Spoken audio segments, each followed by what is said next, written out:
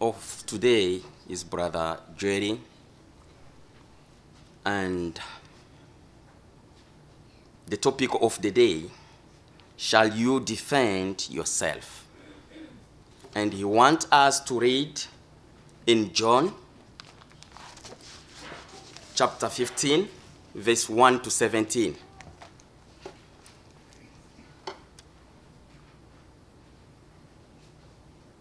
I am the true vine. My father in the garden, he cut off every branch joined to me that does not bear fruit. He trims every branch that does bear fruit, then it will bear even more fruit. You are already clean because of the word I have spoken to you. Remain joined to me, and I will remain joined to you. No branch can bear fruit by itself. It must remain joined to the vine in the same way. You can't bear fruit unless you remain joined to me. I am the vine, you are the branch. If anyone remain joined to me, and I and I to him, he will bear a lot of fruit. You can't do anything without me. If anyone does not remain joined to me, he is like a branch that is thrown away and, dries up. Branch like those are spoke, those are, are speaked, are speaked up. They are thrown into the fire and buried, buried, buried. If you remain joined to me and my word remain in you, ask for anything you wish and it will be given to you. When you bury a lot, a lot of fruit, it brings glory to my Father. It shows that you are my disciple. Just as the Father has loved me, I have loved you. Now remain in my love. If you obey my commandment, if you obey my command, you will remain in my love. In the same way, I have obeyed my Father. Command and remain in his love. Have told you this so that my joy will be in you. I also want your joy to be complete. Here is my command love each other, just as I have loved you.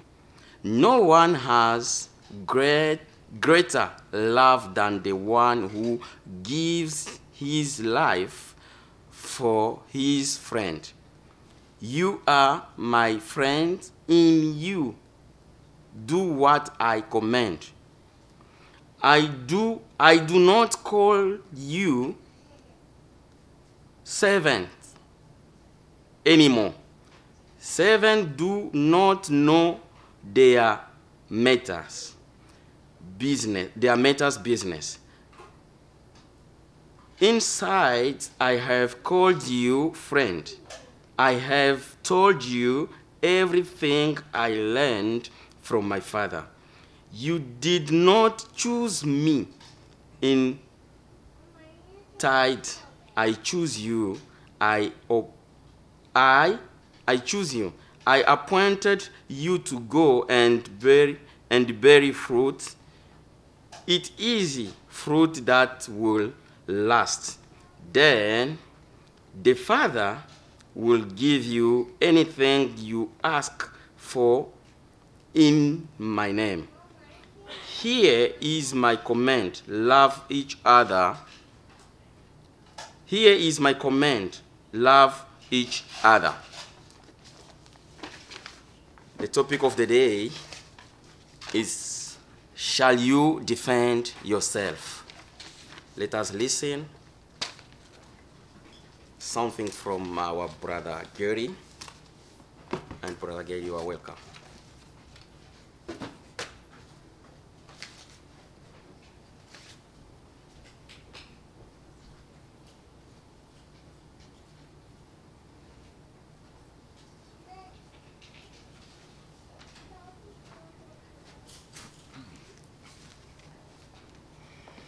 Good morning, everybody. It's good to be here. This is a larger crowd than I usually speak in front of. I think last time I spoke here, I had a little more hair in my head. But, um, this talk came about. Um, it was something I thought about one night. I was thinking about this subject of uh, self defense, if with all the things going on in the world and the crazy things and all the killings and the murders, and we could have a list 100 pages long. So I was thinking about this subject. I thought about it for quite a while at night and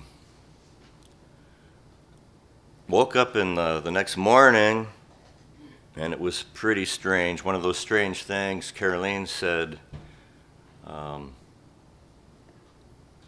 she asked me if I thought it was all right for us as Christians to be able to defend ourselves. And that's what these ideas are about. And it's uh, might be a lengthy talk. I tried cutting it down a little bit. so we'll see how far we get through on this. So I told her that's exactly what I was thinking about. That same the a few hours before. So it's one of those weird weird things that happens. So it's like she was reading my mind or maybe I don't know. we all know that the Bible talks a lot about killing and murder, right and wrong, and, and what Jesus said, as we read in the reading. It's a good thing to lay down your life for a friend. How many people would be able to do that? In Genesis 4, we start with one of the very first murders that is recorded. And we're going to discuss a few murders here. Cain was told, if you do what is right, now he had a little talking to, because something was going on with him. He had already been thinking in his mind, we don't know for how long, about he, he didn't like his brother. He was jealous. He was told, I believe by an angel, if you do what is right, you will be accepted, but if you do not do what is right, sin is crouching at your door. Or this could have been a vision or by God or it desires to have you, but you must master it. So, how long was it from this point, this warning time, until Cain deceived Abel? And he goes, so I don't know the exact time frame. He, he had time to think about it. He was warned. It was known what he was thinking. He's like, hey, you got to straighten out your thoughts here. This is not good what you're thinking. Let's go out to the field. Two brothers on a nice walk. How long was Cain planning this? Abel was attacked. He probably had no idea this was coming. And it's hard to defend yourself if you don't see it coming. we're thinking, there was some thinking in uh, previous um, writings on this that them knowing how to uh, sacrifice the animals and stuff, he, they always show him using a rock and, and killing them, but could have very well been a knife and he could have slit his throat in the sacrificial manner. And there's uh, an expression in the martial arts fields that anyone can be had if you don't see it coming. This murder narrative, and while they were in the field, Cain attacked his brother and killed him. I, yeah, I don't think he saw it coming or had a chance to defend himself, or he probably would have defended himself as his blood went into the ground. The next murder story, and you know, Cain was, Cain was held very accountable for that. The next murder story, this person isn't really held accountable that I could find. So, what about Moses?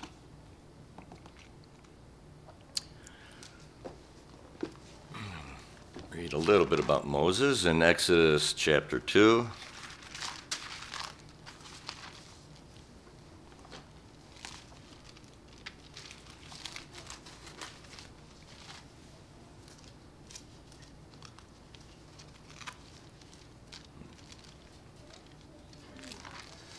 starting at verse 11.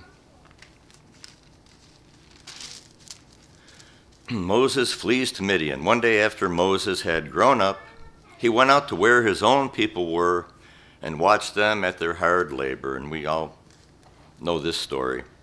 He saw an Egyptian beating a Hebrew, one of his own people.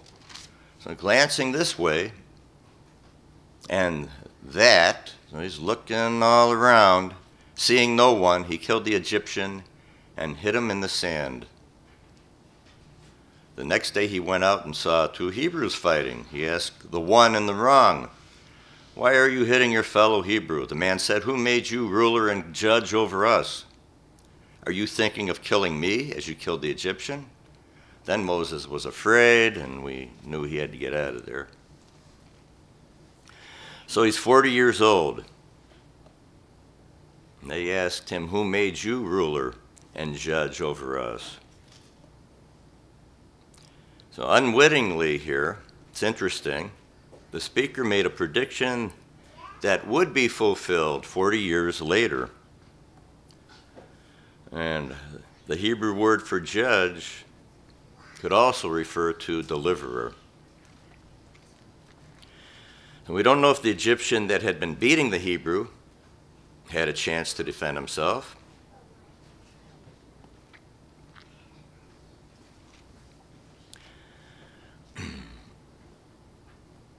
Or when the two Hebrews were fighting, we don't know who had a chance, but when the Egyptian that Moses saw and was going to kill, I mean, he, he was murdered. We don't know if, how Moses did it, if he snuck up on him or just, he probably had very good training in uh, Pharaoh's house. I'm sure, on uh,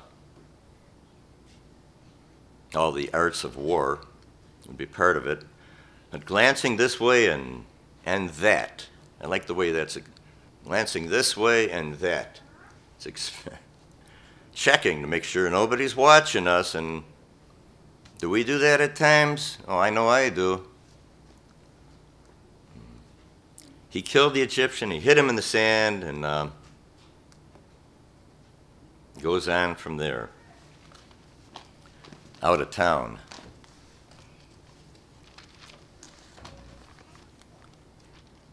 Read one thing in Acts from chapter 7. Starting at verse 23, when Moses again was 40 years old, he saw one of uh, his fellow Israelites, being mistreated by an Egyptian, so he went to his defense and avenged him by killing the Egyptians. Moses thought that his own people would realize that God was using him to rescue them, but they did not. So another little version of that from Exodus and also in Hebrews. Hebrews 11. I know, I think that's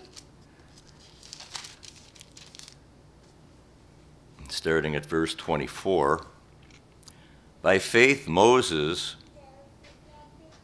when he had grown up, refused to be known as the son of Pharaoh's daughter. He chose to be mistreated along with the people of God rather than to enjoy the pleasures of sin for a short time. He regarded disgrace for the sake of Christ as of greater value than the treasures of Egypt, because he was looking ahead for his reward, as we should also be.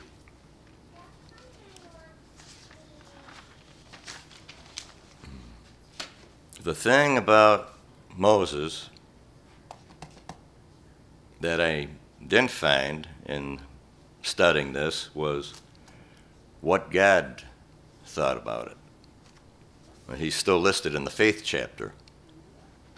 I mean, we know he didn't like the Cain and Abel thing, but we don't get too much information on uh, how he felt about Egyptians getting killed at this time. Okay, what about David? Another murderer.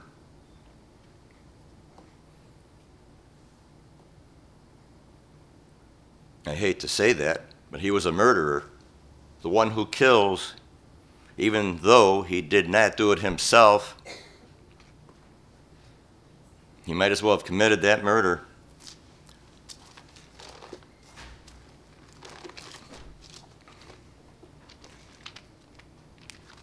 That's in 2 Samuel. I can find it. Uh, chapter 11. It's uh,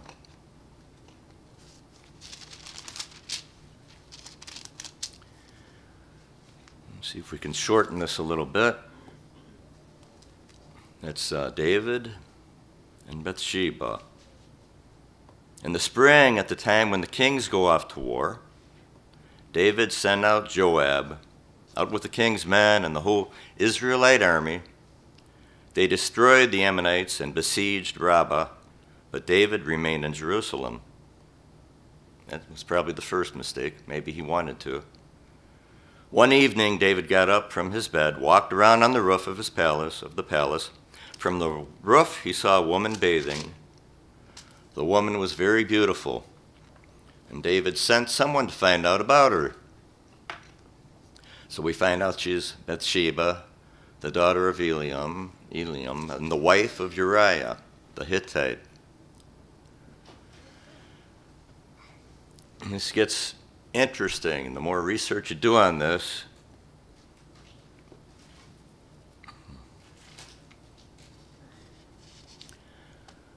because when I researched it, I'm like, hmm, well, did David know Uriah? He was one of the great and mighty men, find out.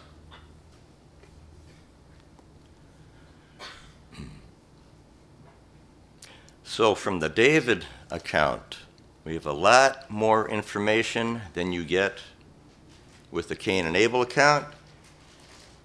And you've got a lot more information than you get with Moses. You get David's life unfolding before our eyes, his good things and his bad things. And we were told and are told that God loved David's heart. It was uh, his heart was the kind of heart that God loves, and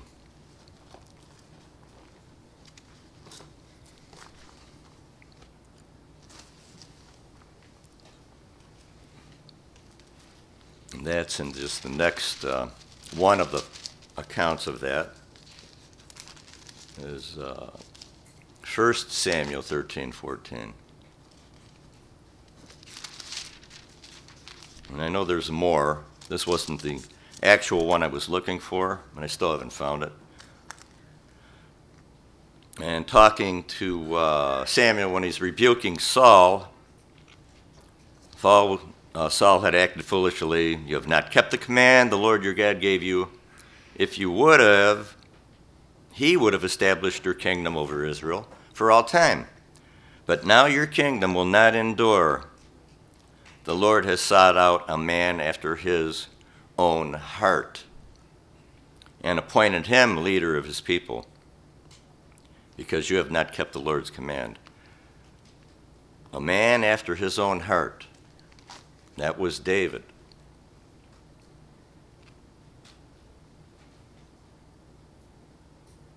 And he messed up.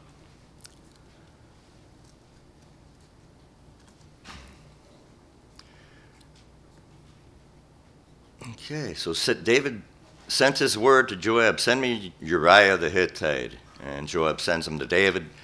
When Uriah came to him, David asked him how Joab was, how the soldiers were, and how the war was going.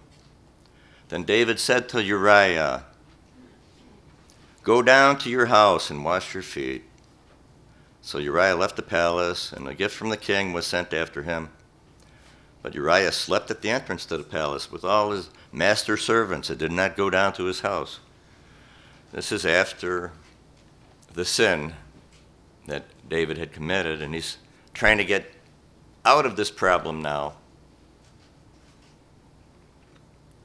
by getting Uriah to go back with his wife.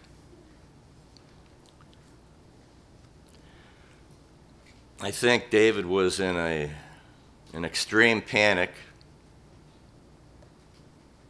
And he's trying the best he could to get out of this mess. And this whole chapter goes on with him trying to get out of this mess that he got himself into. I'm not saying I'm any better or anyone else is any better. We all get into big messes. It's interesting in this chapter David never turned to God for help or for forgiveness or for advice. This is the David and the Uriah and the Bathsheba incident. This is the lust of the flesh. And I've heard that both King Solomon and King David loved beautiful women. From the roof, he saw a woman bathing. The woman was very beautiful.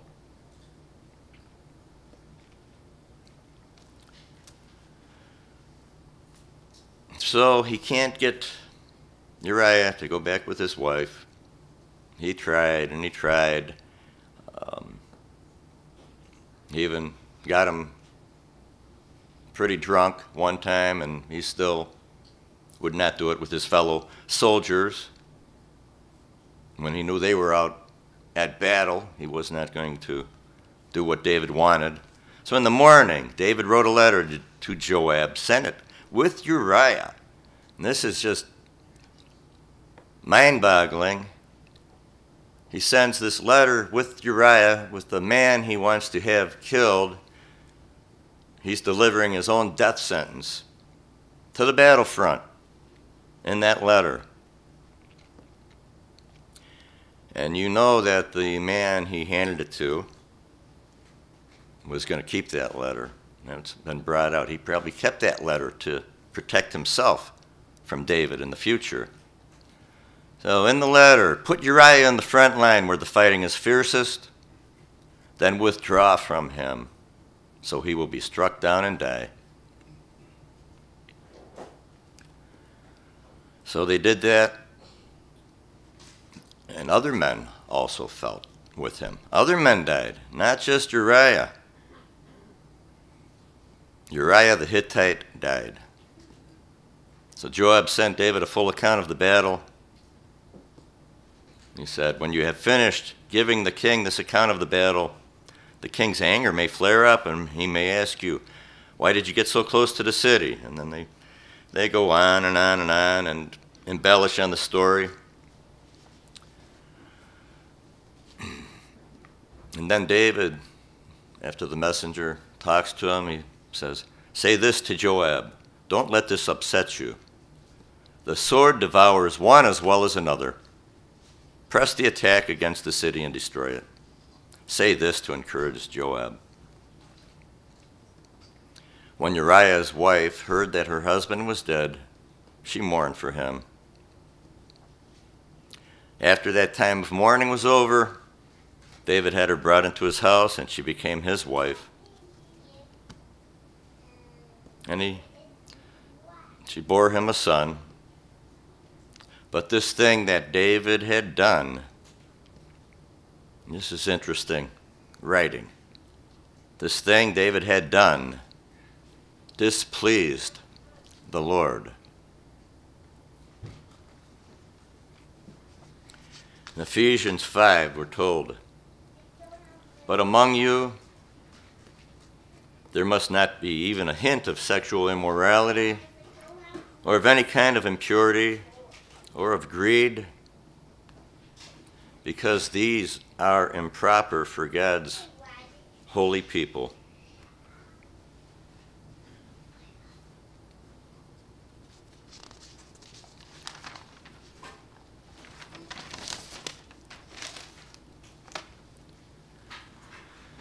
We have many warnings in, in the Bible.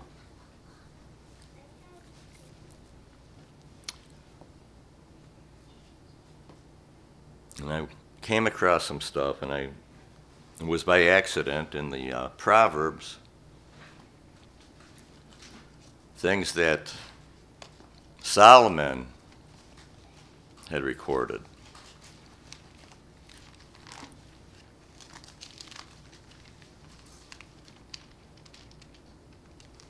And it sounded really interesting because it went back to that chapter. Went back to what David had done.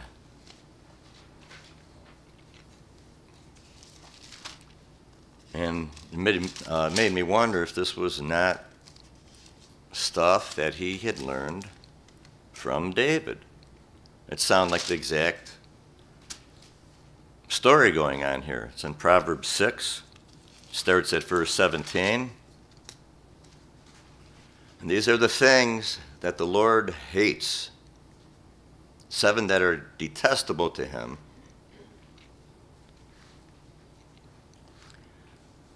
And in 17, it is the haughty eyes, a lying tongue, and hands that shed innocent blood. And who did that?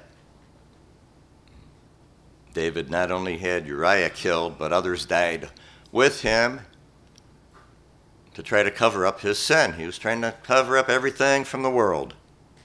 He didn't want any. And he's thinking that God's not seeing what's going on. Now, we don't know what he was thinking exactly. He was trying to get out of the biggest one of the biggest messes in his life. Verse 18 a heart that devises wicked schemes. That's what David did. He schemed through how can I get out of this? Feet that are quick to rush into evil. Verse 19 false witness who pours out lies. That happened in the story. It was a lot of lies, a lot of cover up. And a man who stirs up dissension among brothers, stirred up problems throughout all of Israel. All these things David did, and it was recorded by Solomon, and I think that was no accident.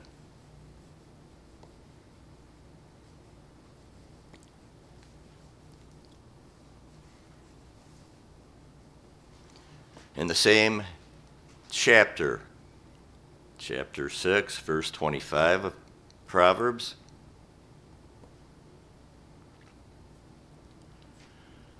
Do not lust in your heart after her beauty, or let her captivate you with her eyes.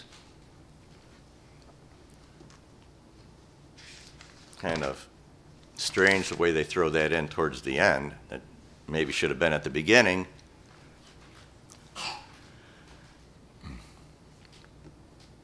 In First Chronicles, we read, like, who was Uriah? I didn't know really a whole lot about him. Just knew it was the man that David had killed. Who was Uriah the Hittite? He was, as I said earlier in the beginning, one of the mighty men. And he was a mighty man before David.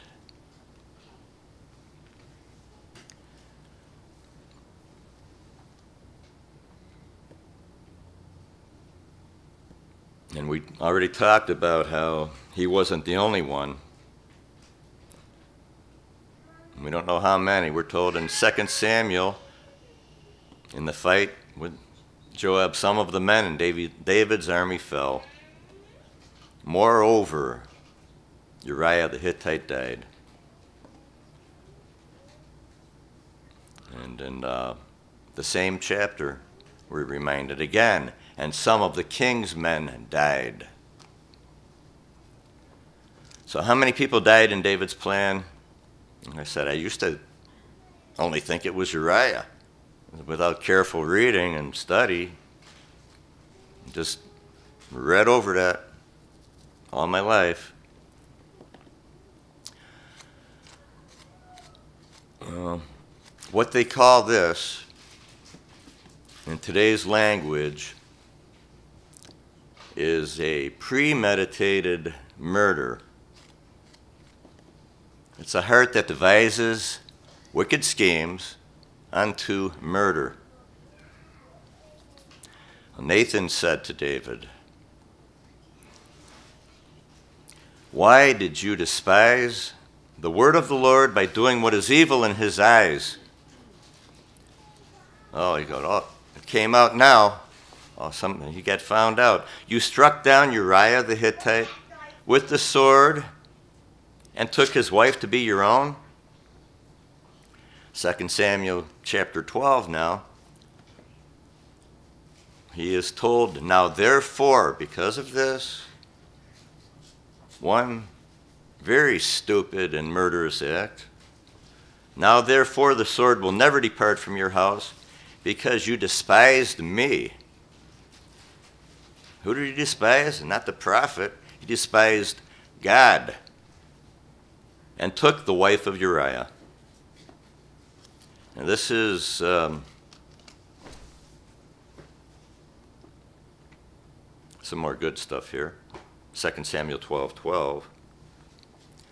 And this relates to us, this relates to our lives. Or it should, not the murdering part, I hope pray we have no murder in our heart. Although there's been times I've said I want to kill somebody. And won't really do it, I hope, but I've said it. He is told by the prophet here in chapter 12 You did it in secret. David, you did this in secret, but I will do this thing that I'm going to do in broad daylight. This is God's words before all Israel.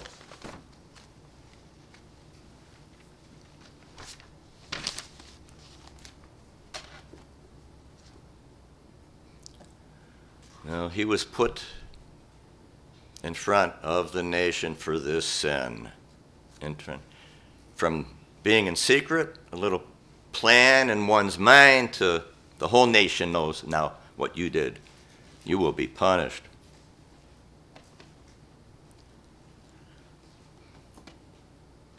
Did Uriah have a chance to defend himself? Or the others with him when the army drew back and left them there and said, Oh, a woman on the wall threw something on him, killed him. Yeah. The woman on the wall. They blamed it on the woman on the wall, killed him. Okay. Remember, they had to make it look good.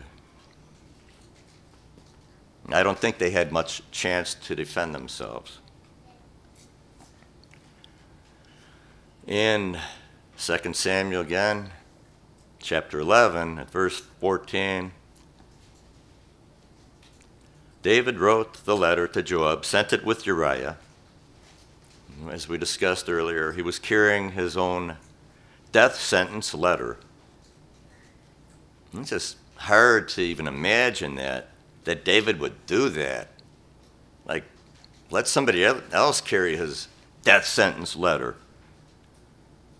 I think at this point, David's really losing it. In the letter, we know he wrote, Put Uriah in the front line where the fighting is the fiercest, then withdraw, so he will be struck down and die. Imagine, if you can, Uriah's leaving with this letter, which tells the people how they should kill him. Maybe he's feeling important and trusted with this letter and responsibility. Or maybe from the way David was treating him and trying to get him to go with his wife, maybe he's thinking something's going on, this isn't right. What's going on here? All this, all this stuff isn't right.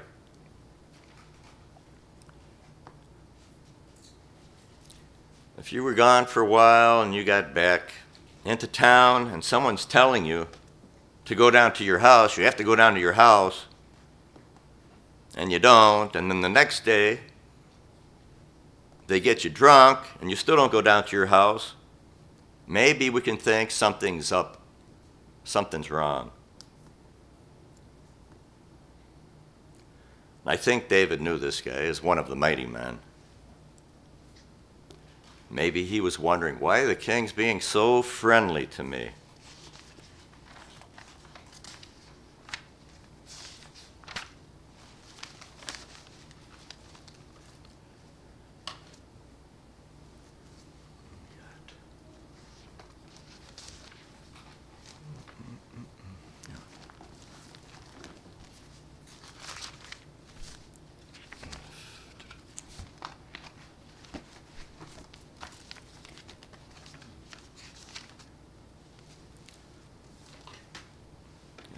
article somewhere on uh, Illinois murder.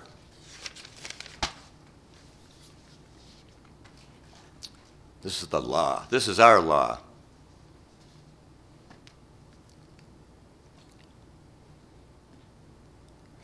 And it was written as of all the shootings going on and the police shootings. So I found this a little interesting because I found it at the same time as uh, I was going over this talk.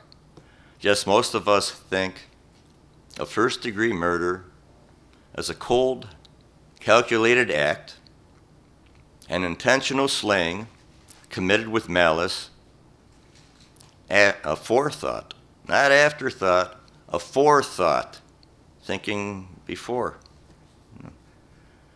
The Illinois law on homicide, that's our state here, says person who kills an individual without lawful justification commits first degree murder. If in performing the acts which cause the death, he either intends to kill or do great bodily harm to that individual or another, or knows that such acts will cause death to that individual or another, this is all lawyer stuff. It's so. Or he knows that such acts create a strong probability of death or great bodily harm to that individual or another, section 720 ILCS 5 slash 9 dash 1. And there's a lot more in this article, but it sounds like things haven't changed in several thousand years.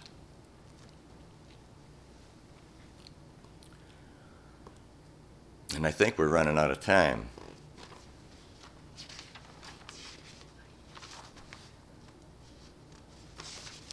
And I can't finish this in five minutes.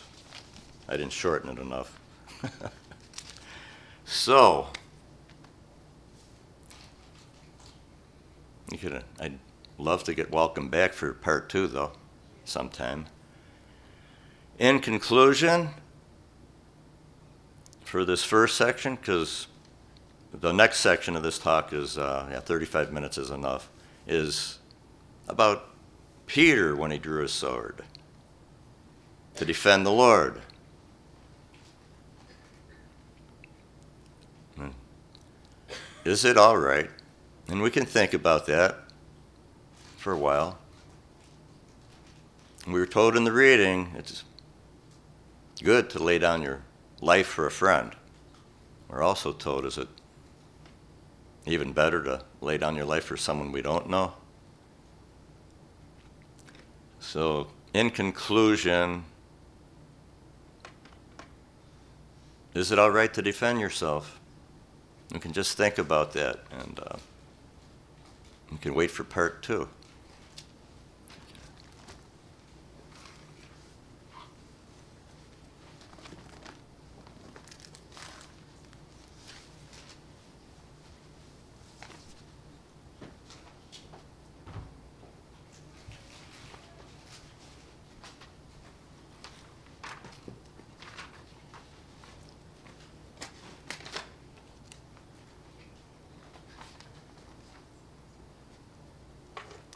Thank you, thank you, Brother Gary, for your wonderful message. I think today is a great day to be learning how to defend yourself. We should learn because it's not easy according to the difficult time that we are living. We should know, and that is why we are here every day to learn, to share, so that we can be strong in faith and to know how to defend ourselves for the future. Thank you. Let us continue uh, by singing hymn 222.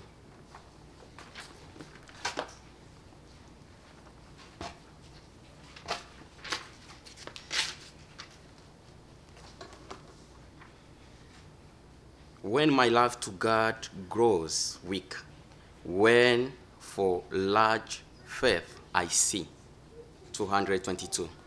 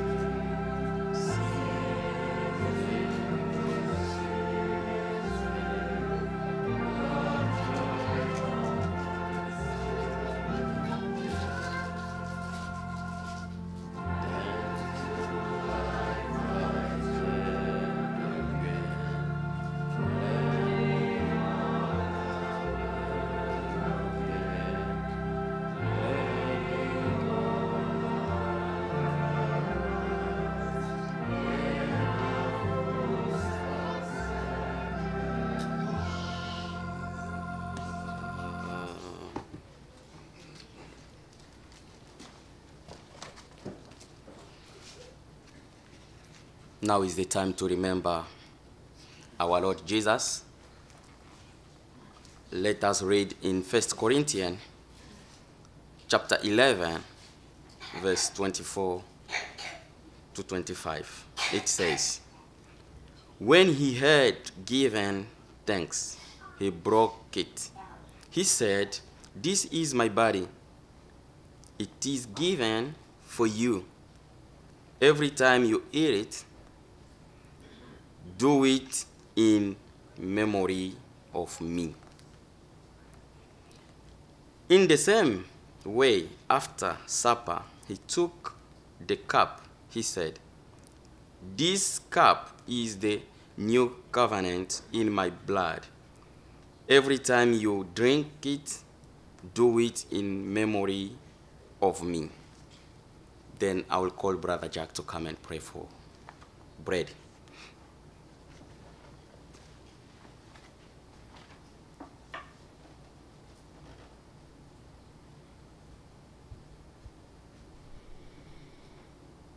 Heavenly Father, we thank you for this bread which we remember as a token of Jesus' body which was given on our behalf.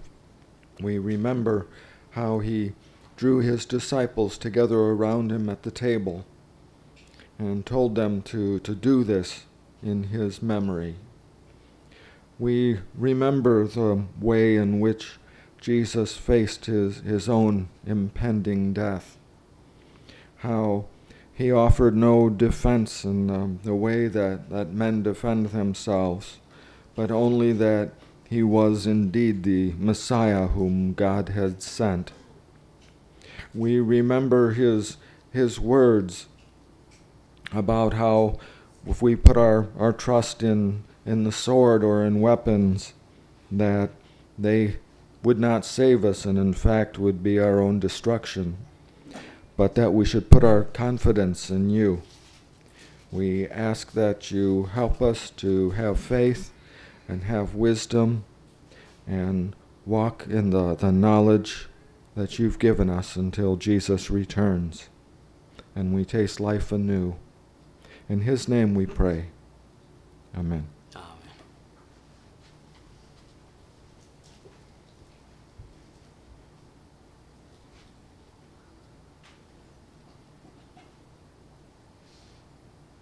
Time, he took the bread and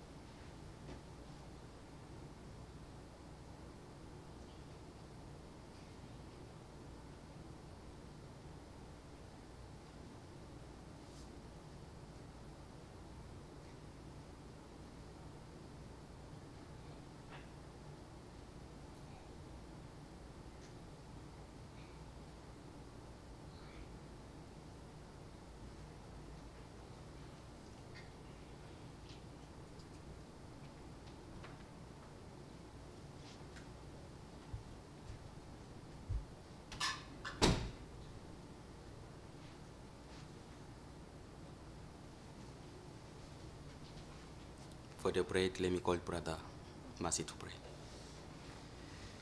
Let's pray. And Heavenly Father, thank you for this wonderful day that you give to us to come together and worship you and sing for you.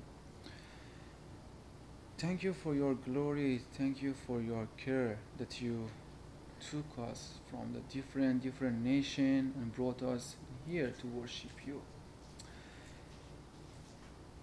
Thank you for your great things that you've done in our life. You give your beloved Son His blood for our sin, and He washed us through His blood.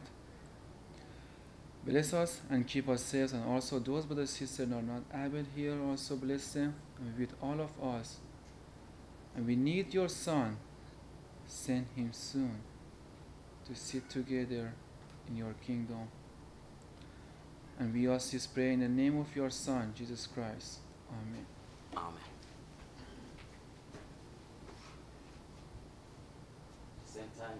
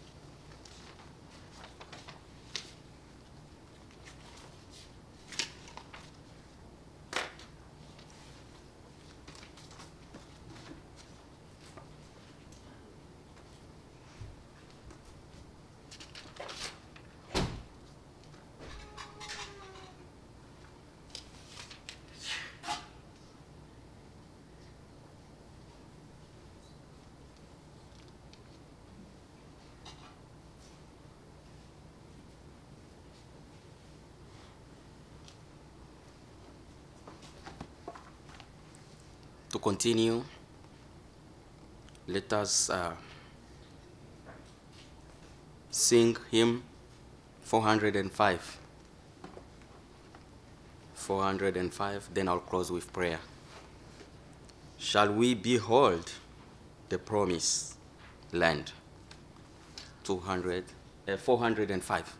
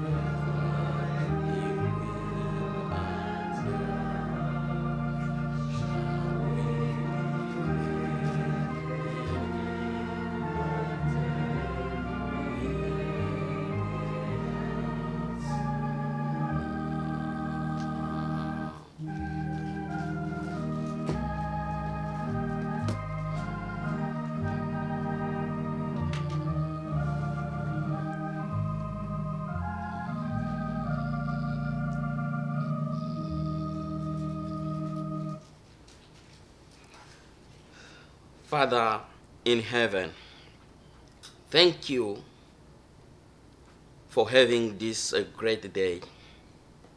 We put our spirit, our soul, and our body in your hand. We ask you to be with us now.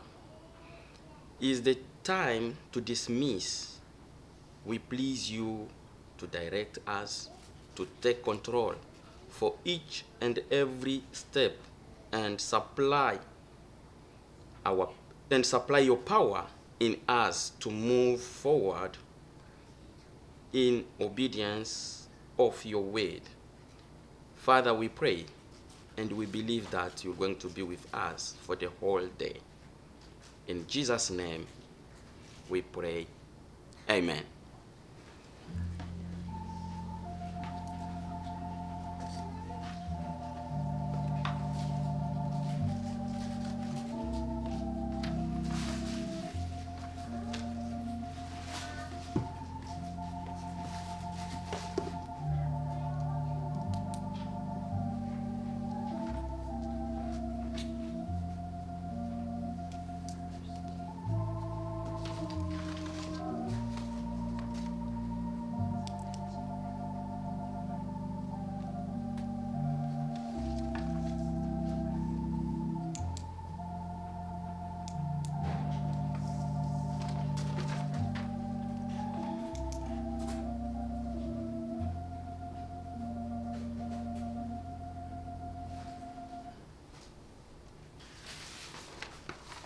Would like to ask Our speaker has asked that we read from 2 Corinthians this morning. 2 Corinthians chapter 10.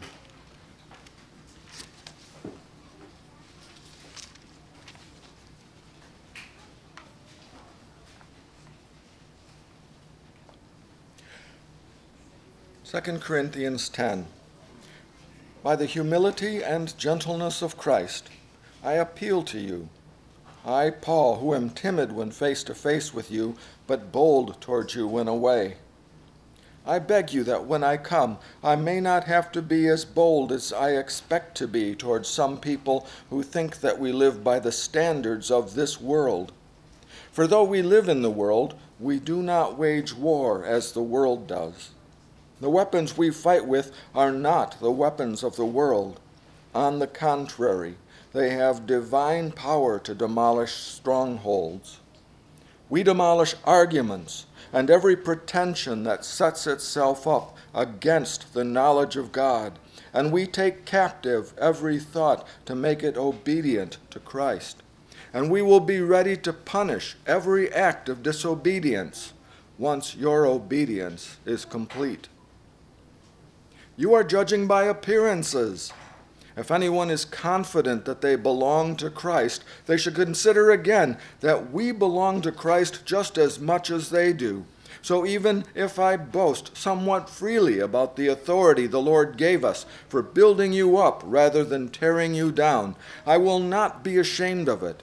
I do not want to seem to be trying to frighten you with my letters, for some say, his letters are weighty and forceful, but in person he is unimpressive, and his speaking amounts to nothing. Such people should realize that what we are in our letters when we are absent, we will be in our actions when we are present. We do not dare to classify or compare ourselves with some who commend themselves. When they measure themselves by themselves and compare themselves with themselves, they are not wise. We, however, will not boast beyond proper limits, but will confine our boasting to the sphere of service God Himself has assigned to us, a sphere that also includes you. We are not going too far in our boasting, as would be the case if we had not come to you. For we did get as far